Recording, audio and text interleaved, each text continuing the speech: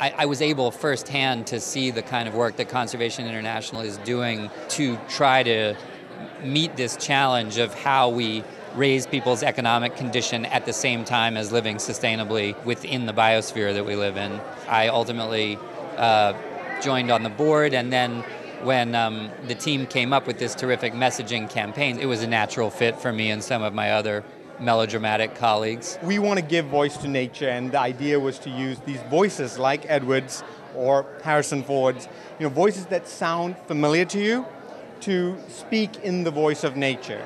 We want to remind people that nature is still relevant to their lives. And when you realize that we humans are part of nature, then you realize that saving nature ultimately becomes about saving ourselves. The hashtag Nature is Speaking will drive a lot of that traffic, and we're going to launch the campaign on October 6th. This weekend, we've seen people really waking up.